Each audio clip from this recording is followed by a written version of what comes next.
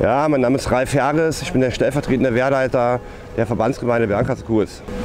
Ja, aufgrund der äh, massiven Regenfälle der vergangenen Tage ähm, ist es dazu gekommen, dass die Mosel logischerweise angestiegen ist. Wir haben jetzt einen Pegelstand aktuell von über sieben Meter.